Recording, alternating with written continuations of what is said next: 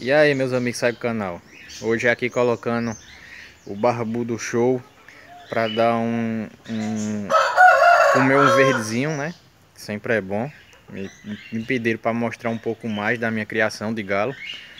Então tá aí. É apenas por hobby mesmo assim. Não coloco briga, essas coisas não é comigo. Então nem, não sei nem como é que A prática, não sei nem como é que funciona. Eu crio mais por beleza, crio para comer e assim vai. Aqui é um dos meus, é um dos melhores galos. Esse galo aqui, na época foi um pouco salgado. Barbudão aí. Pesado não, se amostra. Com a galinha pedrez aqui. Já nasceu aqui em casa. Pode ver a galinha. Aí todo dia esse procedimento. Só toma um solzinho, só que hoje o tempo tá nublado. Mas eu solto aí para comer um verdinho. Vocês podem ver o tamanho do galo. É grande, viu? Aqui também tem outros. Aqui tem um franzinho novo.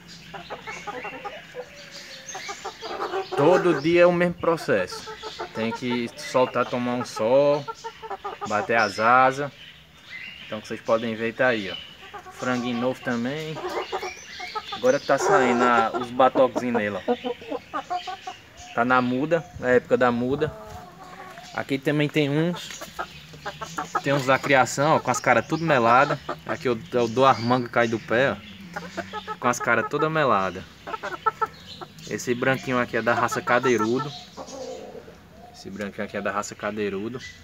Tava brigando. Pior que essa raça combatente é, é meio complicada de se criar. Eu gosto por causa da beleza. Aqui tem uns pezinhos duros. Tá escuro. Esse daqui tá engordando. Esse daqui é mais para ir para panela. Tá engordando. Não dá para ver. Direito tá escuro. E aqui tem outros. Como vocês podem ver, o meu gosto por pedreza. Galo em pedrez. Aí. Franguinho também tirei aqui. É cria daqui da casa. Aqui um pedrez branco. Vocês podem ver, ó. E aqui outro pedrez outro pedreiro, como vocês podem ver, se fosse para briga, esse daqui não era a cor ideal. Ninguém gosta de galo pedrez. Eu gosto mesmo, mesmo pela beleza. Olha o jeito. É lindo. Esse branquinho também, ó. Show de bola esse branco. Então todo dia é o mesmo processo. Tá aqui, foi improvisado. Ali o barbudão comendo um verdinho. Aqui é a parte de baixo da casa. Aqui eu separei duas aves é, lá do, do viveiro. Coloquei é, coloquei a albina. Ela já tá dentro do ninho aqui, raspando a caixa com esse branquinho. Então bora ver o que é vai dar aí. Se vai dar certo essa se vai dar certo essa formação aqui. Ainda não são casal, mas ela já tá, já tá no ninho, ó, vocês podem ver é a albina, já tá raspando, então quando começa assim, logo em seguida é... vem reprodução aí. Aqui também é uma ninhada que eu tenho. Olha o tanto. Tudo pedrezinho. Pra vocês verem, será que eu gosto da raça pedrez? Ali é outro cadeirudo. Vocês podem ver, é um franguinho cadeirudo, tava brigando, então tive que separar. Aí todo dia é o mesmo processo. Tem que ir pro sol, é, a saúde dos frangos é o sol. Tem que tomar o sol de cedinho das, da manhã. Aqui também, ó, vocês podem ver. Esse daqui é pior do que cachorro. O que tá aqui no quartinho. Esse daqui é pior do que... Pior do que cachorro. Esse daqui é brabo. Eu, eu mesmo não me atrevo nem a entrar no quarto aqui. Galo brabo, quando você menos espera, ele parte pra cima. Tá ali com outra pedrezinha. Aí aqui eles ficam mesmo só cruzando.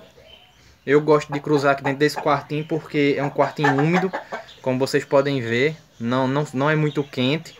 Então a galinha consegue dosar. Aqui todos os ovos que eu deitei aqui até agora eu não tive uma perca.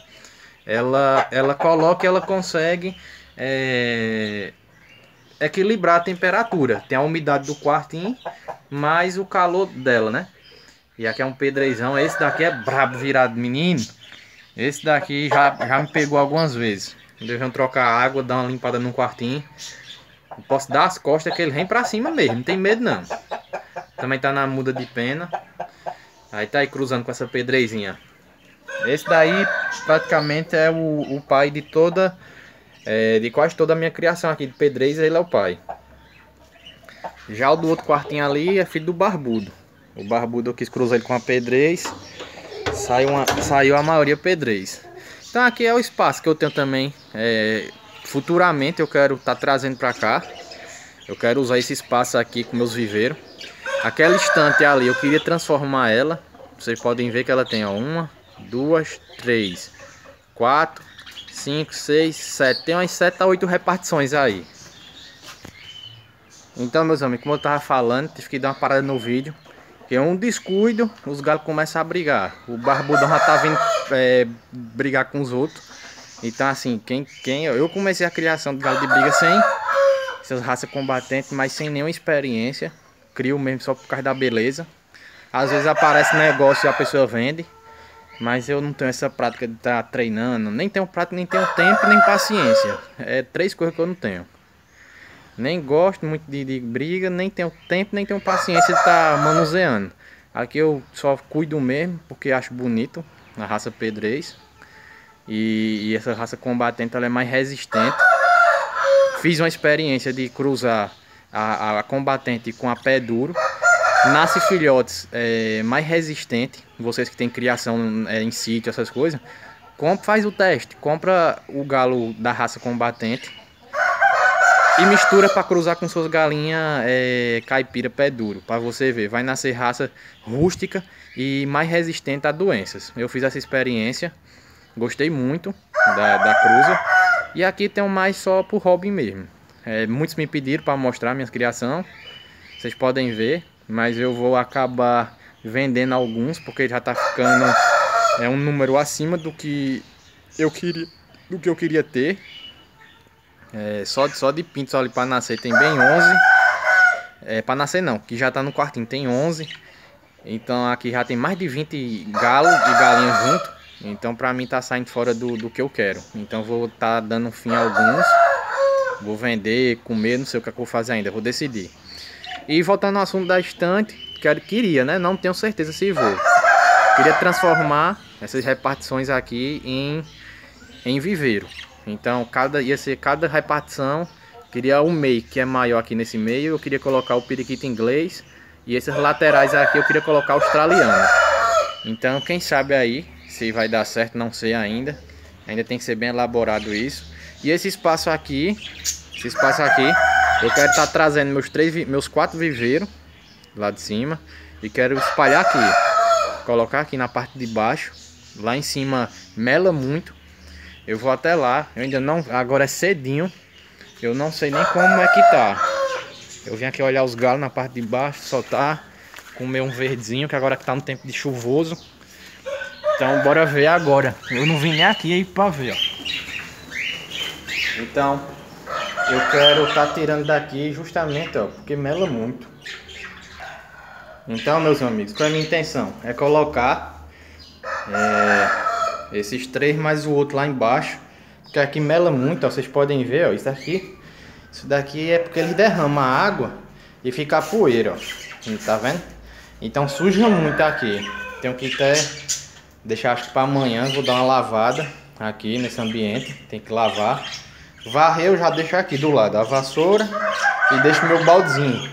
Que antigamente eu jogava aqui e tava atraindo formigas, bichos que não não é bom. Então deixo meu balde, vou juntando aí, tá aqui, já deixo no canto. Então todo dia é esse processo, duas, três vezes no dia tenho que estar tá, é, varrendo. Esse forro aqui, como vocês podem ver, tá bastante encardido, ó. Isso daqui não é sujeira, é encardido. Porque eles vão, vão fazendo os cocô deles. É, eu tento limpar, aí fica encardido. Por, por ser. É, esse piso foi um piso improvisado. No, no, é, no começo eu mostrei a vocês. Quando eu tava fazendo. Foi um piso improvisado. Mas eu tenho lá embaixo zinco. Eu não sei se vai dar o zinco o tamanho completo, mas eu estou pensando em colocar por cima desse, desse saco aqui, do saco aí botar por cima o zinco, porque é até mais fácil de limpar.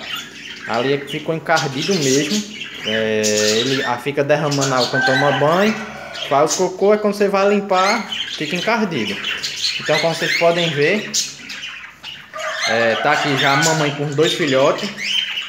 Aquela que eu comprei nova já tá entrando aqui, ó, na caixa. Ela tava entrando numa disputa entre essas duas aqui, com o filhote e ela. Acho que porque ela já tá entrando no período de colocar ovos, então ela faz, ela fica mais agressiva. Então tava disputando é, com essa daqui, mas ela já entrou dentro da caixa, tá tudo em paz. A branquinha eu já coloquei lá embaixo, porque a branquinha já foi, foi uma das primeiras a nascer e até agora não escolheu nenhum macho e nem colocou nada, nem, nem entrou em caixa, então resolvi separar ela e isolar. Como muitos estavam me cobrando, então isolei ela com aquele branquinho e eu acredito que se der certo vai nascer filhotes de qualidade e com uma cor bem, bem bacana, né? É, albina com aquele branquinho colorido pode ser que case aí cores boas. É, aqui continua a fêmea cuidando dos seus filhotes. É, como, eu, como eu vou falando, ainda estou em quarentena, estou saindo poucas vezes de casa só para comprar a ração quando acaba e quando encontro lugares abertos. Aqui em Pernambuco eles não seguiram muito bem o que o presidente estava falando para voltar ao normal. Aqui o governador determinou que mantesse a quarentena e o que eu acho também correto. É, se é um vírus que precisa de pessoas para estar tá passando de uma para outra, para estar tá transmitindo. Então, assim, eu não acho justo que a parte mais jovem saia de casa, contraia a doença e leve para dentro de casa. Porque eu moro com meus pais, que têm uma certa idade, meu pai tem diabetes, minha família, a maioria do, do, do, dos homens, por parte de pai, meus tios, tudo, a maioria é operado do coração, tem uma avós, tem uma avós, então, assim, é o que é que adianta é, eu colocar meu pai, meu avô, minha avó em quarentena e eu, eu me expor lá fora? Tá certo que é, tem a economia do país que vai, vai ficar bastante pesada aí, é, vai ser uma crise aí que a, que a gente vai ter que enfrentar futuramente, mas eu acredito que deve ter alguma solução. Eu acredito que colocar o povo na rua se expor para trabalhar, eu acredito que não é a melhor. Todos os países que é, maiores que o Brasil, que tem é, é, teve esse mesmo pensamento aí de, de, de, voltar ao trabalho, é onde a doença matou mais. Agora, como exemplo, os Estados Unidos estavam pensando em voltar a trabalhar e tudo, a doença agora está lá. O epicentro da doença é lá. Então, é, eu mesmo não estou saindo, não estou arriscando. É, é uma doença como muitos aí, ah, é besteira. Não é besteira. É uma doença que mata. Vocês podem ver a, a, as estatísticas na Itália, quantas pessoas morreram em 24 horas. Então, assim, é, eles é, demoraram muito a tomar essa atitude de, de, de, entrar em isolamento. Então, assim, vocês podem ver o que já está acontecendo. Eu não arrisco. Então, é, acredito que o melhor ainda é ficar em casa e arrumar uma solução para aqueles que precisam trabalhar, para ganhar o seu, tem que ter algum jeito. Mas eu acredito que expor a doença, eu acho que não é o caminho. Mas é isso, meus amigos. Voltando ao assunto, que é periquito, deixar os problemas aí para os lados de cima. Então, bora é, voltar para o assunto periquito, que a gente está se virando aqui, como eu já disse desde o início, como pode. É, muitos criticaram, ah, só país está alimentando bem. Claro que eu estou fornecendo país, já forneci ovo cozido, é, já dei uma misturada com bolacha, é, fiz o farelo, estou é, colocando vitamina na água. Então, assim, é o que eu tinha em casa, coloquei na criação e graças a Deus está dando certo. Os filhotes estão bem desenvolvidos. Eu não sei se vai dar para mostrar para vocês, já estão bem grandinhos. A mãe tá lá, ó, cuidando. Então, já tem uma fêmea que está entrando na caixinha, a branquinha, como vocês podem ver lá embaixo, estava raspando. Minhas calopsitas aqui também tá tudo em paz. Já tá colocando ovos, ó. Já tem um macho deitado aqui com a fêmea. Já tá deitado lá com ovos. Aqui são os dois filhotes que ficaram. E é isso, o macho já tá ali deitado no ovo. Não sei se vai sair. Aqui tem um casalzinho também que tá com um filhote já desenvolvido. É... Não sei se vai dar pra ver. Mas tá aqui, ó. Os dois filhotão. Acho que vai puxar mais a mãe. É, a luz não tá ajudando muito. Tá escuro. Por causa da claridade. Deixa eu virar aqui. Não vai dar pra ver. Deixa eu ver se eu consigo ligar o flash aqui. Pronto, meus amigos. Com o flash ligado, ó. Vocês podem ver, ó. Só com paíço, com ovo, a bolacha creme caca, ó, os filhotes. Bem grandinho, já desenvolvido. Então, o negócio é ter cuidado. Os filhotes aí tá bem, tá bem desenvolvido. Graças a Deus aquela já tá entrando ali. Logo, logo eu acredito que vai ter ovo naquela caixa.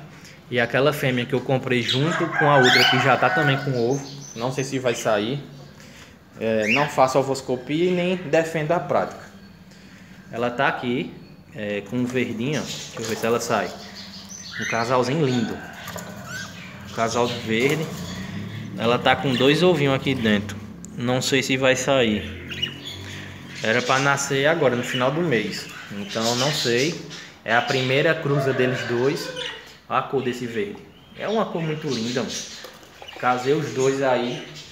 Não sei o que, é que vai sair. Então é isso, meus amigos. Para o vídeo não ficar muito é, extenso, comprido aí. É, futuramente aí, bora ver de acordo com as nossas condições. É, que, é, quero estar tá colocando uma caixa. Não posso mexer agora, né? Porque tá aí os periquitos entrando. Mas eu quero estar... Tá colocando uma caixa de calopsita aqui, de reprodução, porque já tá os dois juntos aqui, é uma cor diferente esse daqui, esse macho. Então, ó, tá os dois juntos, já tô vendo a aproximação dos dois. Então, eu quero colocar a caixa de reprodução para incentivar os dois a cruzar agora. É, deixa já vai fazer umas 3 a, umas 3 a 4 semanas, eles dois juntos. Então, assim, é, quero botar a caixa para incentivar os dois a dar casalando. Mas aí eu vou ter que fazer uma mudança, que a caixa é grande, quero colocar ela aqui, ou senão aqui no início, pra gente estar tá acompanhando alguma coisa com os filhotes. Então colocar a caixa aqui de calopsita e quero encher, né? Quero encher, colocar aqui ao redor, comprar algumas caixas, se possível vou trocar essas caixas velhas. É, já deu o que tinha para dar. Então, só que é aquele negócio, né? A gente tem que fazer as coisas com calma aos poucos é, como vocês podem é, ver, não estou mais vendendo periquito. Eu tirava um trocado, pelo menos para cobrir a ração. É, hoje nem isso estou fazendo mais. Estou é, colocando no bolso. Fico dependendo aí, é, passa aí seis, sete meses para receber do YouTube. É, para juntar o saldo, tirar 300, 400, 500 reais. Então coloco na criação do meu bolso e fico esperando o YouTube para colocar no lugar. Então, por isso que eu suspendi a venda de, de, de periquito. Os caras estavam querendo comprar a 4, 5 reais. Então, para mim, não compensa é gastar com ração, com meu gasto, gastar com verdura, com, com, com remédio para vender um periquito a, a 4 reais. Aí, quando você vai comprar neles, o mesmo lugar que você vendeu a 4, eles vendem a 15, vendem a 20. Então, assim, é uma coisa que eles estão ganhando acima de 100% em cima de mim, que tenho todo o trabalho de estar tá reproduzindo, de estar tá alimentando, dar o filhote já grande. Então, para estar ganhando mais de 100% em cima, então eu resolvi cortar. Eu prefiro criar e deixar aqui é, e, e, tento fazer essa, é, tento fazer esse esquema. Eu coloco do meu bolso, vou sustentando, anotando tudo e quando eu recebo daqui, é porque o YouTube, para eu juntar o, o limite para sacar, eu passo aí é, de seis meses para sacar 300 reais. Então, assim, se fosse para eu depender de, de, do YouTube para manter a criação, é, eu acho que a criação já tinha terminado, já tinha acabado, porque não ia dar. E para eu vender, para dar de graça, eu também não, eu também não ia ficar. Então, é, resolvi estar tá fazendo esse esquema aí para ver como dá, se vai dar certo. Tem um projeto de viver, tem um projeto das caixas, tem um projeto da reprodução desse casal de calopsita, tem um projeto arco-íris, só que cada coisa depende de outra. Arco-íris estão me cobrando, só que o projeto arco-íris tem que ter as aves ideais, as aves certas. Eu não encontro aqui. A maioria das cores que eu acho é azul ou verde comum. Oxê, ó, as calopsitas aqui eu falando e elas cruzando em cima da caixa, ó. Mas que folgados, ó. Então é o casalzinho que já tá colocando ovo, ó. Então acredito que os ovos podem estar galados. É, essa fêmea estava atrapalhando o cruzamento deles, por isso que eu separei ela. Porque eu sabia que, é, que o macho que ela tinha morreu. E que esse casalzinho, ele tá formado. Então resolvi deixar eles, mais os dois filhotes aí. Que não estão atrapalhando ainda. Então tá aí, o casalzinho cruzando. Então eu acredito que a ninhada pode, pode ser que saia, né? É um casalzinho que tirou dois filhotes. É, chocou bem, cuidou bem dos filhotes. Então tá cruzando, tá colocando os ovos. Então bora aguardar. Tomara que dê certo. Eu foco muito nas calopsitas. É, é, é, trabalhoso você reproduzir elas. Mas quando você encontra o casal perfeito, é, não tem dificuldade. Quando você reproduzir a primeira vez, então não, tem, não vai ter mais dificuldade. A calopsita, o problema é esse, de você identificar se é macho se é fêmea. E quando começar a cruzar, você só está no cruzamento, é uma atrás da outra, é igual a periquito. Então, meus amigos, voltando ao assunto, é, eu tenho vários projetos, né? Quero colocar periquito inglês. Aqui na minha cidade não tem periquito inglês, então já tenho que ir procurar fora. Então, assim, vou ter gastos para ir procurar. É, o periquito inglês é na faixa de uns 75 reais a 100 reais um, uma ave. Aqui é, eu estava olhando lá do Ceará. A Agaporn era tava de 70 reais lá. Então, assim, é, são aves caras que eu não tenho patrocínio, não tenho renda, então tenho tirar do bolso. É, então as coisas vão acontecendo é, aos poucos. Eu não vou meter o pé para cima aqui, dar um passo maior do que eu posso, para depois eu estar tá aí é, me arrependendo, até mesmo não, é, sem ter condição de bancar. Já fui pesquisar agaporn, é, a maioria dos criadores que já teve aqui na minha cidade falou que é uma ave que ela ela consome muito, gasta muito pra, é, em ração. Então eu já dei um passo meio atrás é, em questão agaporn. E também em questão é, de espaço. Não tem como eu soltar um agaporn aqui. Me perguntaram sobre é, calopsita e periquito. São aves que não brigam, são aves que se aceitam de boa. Não tem, não tem é, como agaporn que é, defende seu território.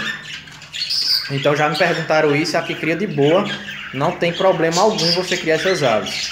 É, junto. Agora agaporn não. Agaporn se você colocar aqui vai amanhecer periquito sem perna, amanhecer calopsita sem cabeça, porque a agaporn ela defende seu território, então não dá certo para criar com outras aves. Alguns arriscam, mas eu, eu tenho quase certeza que 97% eles têm problema em questão disso, de dela estar é, arrancando as pernas das suas aves, tá tentando matar as aves. Então é isso, meus amigos. O vídeo já tá cumprido, já tá bem extenso. Então, para não alongar, para não alongar mais, é, quero é, deixar esse vídeo aí. Foi um vídeo da minha criação geral. É, mostrei todos meus animais, inclusive galos, é, tem aqui os periquitos, as calopsitas. Então são as três espécies que eu crio aqui. É, e é isso. Quero deixar só esse vídeo aí. É, muitos estão é, me fazem perguntas lá, às vezes não dá tempo eu responder, mas eu dou uma olhadinha é, por cima, mesmo trabalho, dou uma olhadinha lá nos comentários e acabo falando aqui. Então aqui eu já respondi duas, três perguntas que me deixaram lá. Praticamente nesse vídeo eu já deixo a resposta. É, tô com um, um bocadinho de mensagem atrasada, peço desculpa. É, eu não tive problema com a internet tava sem internet e tudo, aí acumulou. E mesmo aqui dentro de casa parece que você trabalha dobrado, mesmo você na quarentena, você trabalha dobrado. Mas eu vou, vou tirar um tempinho para sentar e estar tá respondendo a todos aí, como eu sempre fiz, dando atenção. É porque às vezes a correria faz uma coisa, faz outra. Tava ajeitando, ó, eu mesmo é quem faço. Tava emassando parede, e tudo aqui ajeitando alguns problemas de casa é encanação lá embaixo. Então assim a gente sempre está se movimentando. Então é isso meus amigos. Quem já é inscrito eu agradeço de coração. Quem não é inscrito me ajude aí. Tanto já tá bem pertinho dos 8 mil inscritos. Então vem fazer parte da família GV me ajuda aí nessa caminhada. Quero estar tá chegando aos 10 mil. Quero bater essa meta de 10 mil aí é, daqui para o final do ano se Deus quiser, quem sabe o ano que vem, é, ou até antes, é, eu consiga colocar meu projeto aí de arrecadar dinheiro é, com as visualizações, é claro. Não quero pedir nada, só quero que vocês assistam até o fim. Propaganda, se ideia aperta. Então, assim, vão estar tá me ajudando quando eu bater os 10 mil. E eu quero estar tá passando um período arrecadando esse dinheiro do YouTube e quero reverter em cesta básica para estar tá doando dentro da minha cidade. Então, é um projeto que eu tenho. Quero fazer sorteios também para interagir com os inscritos. Tem a galera que não tem condição, né, de estar tá adquirindo aves. Então, quem sabe aí eu não faço um sorteio aí de aves e até mesmo da gaiola, só que em dinheiro. É, vou estar tá sorteando em dinheiro, porque não, não, não, não, é, como é que se diz? Não compensa eu estar tá separando um casal meu, botar dentro da gaiola e enviar. Não compensa porque não tem um aeroporto aqui disponível. É, e é tudo mais difícil. Então eu prefiro mandar o dinheiro e a pessoa compra na sua cidade. Agora sim, cada cidade tem um preço diferente, mas eu vou fazer uma base, uma média. É, infelizmente eu vou mandar aquilo que também está à minha altura, né? Eu não posso dizer, ah, vou mandar 200 reais se eu não vou ter condição. Não, eu vou fazer uma base. É, aqui na minha cidade eu consigo comprar uma gaiola por 45 reais, consigo comprar cada ave a 15. Então sei que em lugares aí maiores é, é bem mais caro, mas eu vou ver como é que a gente vai organizar isso. Então me ajudem, que tem muita novidade para vir aí na criação. Quem sabe também os periquitos inglês pode estar tá vindo a qualquer momento aí. É... E é isso, meus amigos. Espero que vocês gostem. Foi um vídeo bem resumido aí de tudo que eu tenho aqui na minha criação. É, para agradar tanto quem gosta só dos periquitos, como também é, tem aqueles que gostam da criação de galo. É, tem uma criaçãozinha aí, tem um sítiozinho cria um galo, uma galinha e tal. Então, assim, eu não tenho isso. Eu gosto das aves, gosto da, da, da, da de todo tipo. Não tenho aquele espécie. Gosto de cachorro, gosto é, de tudo. Não tenho não. Sendo animal para mim é o que importa. Eu gosto, tenho carinho. Gosto de cuidar, gosto de reproduzir. Então, todo, todo criador é, gosta de estar tá tirando filhote, gosta de reproduzir a sua espécie. Então é isso. Aqui a minha luta vai ser reproduzir esses dois. Eu quero a reprodução desses dois. Esse daqui é um macho que até cantando, assoviando o hino, ele começa a cantar o hino aí, de vez em quando. Então é isso, meus amigos. Vídeo extenso. Agora dá o trato aqui no terraço, dá uma varrida, trocar as águas, botar comida e a vida que segue. É... Só tenho agradecer a todos vocês que fazem parte aqui do canal e a todos vocês que estão chegando. Sejam bem-vindos nessa, nessa nova jornada. E é isso, eu agradeço de coração. Fiquem com Deus até o próximo vídeo.